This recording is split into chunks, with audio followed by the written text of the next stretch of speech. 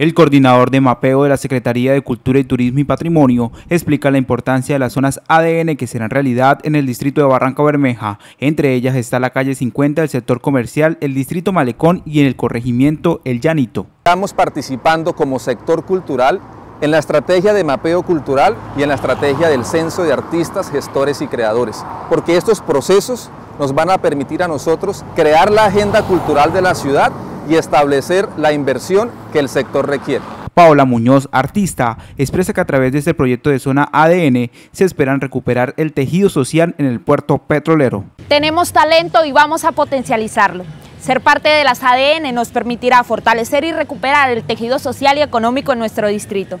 Contémosle al mundo de qué estamos hechos, que nuestra cultura y arte sean inspiración para la transformación de Barranca Bermeja. Diego Castro, escritor, se ha referido a la reactivación económica y al desarrollo que aportará esta iniciativa a la ciudad. Este será un espacio perfecto para generar empleo creativo, integrar nuestra identidad, patrimonio, vocación y dinámicas culturales, impulsar escenarios de renovación urbana, relacionarnos con el resto del país y el mundo. Este logro fue alcanzado en el 2020 con el Ministerio de Cultura a nivel nacional y que hoy avanza en el mapeo y construcción del proyecto en el distrito de Barranca Bermeja.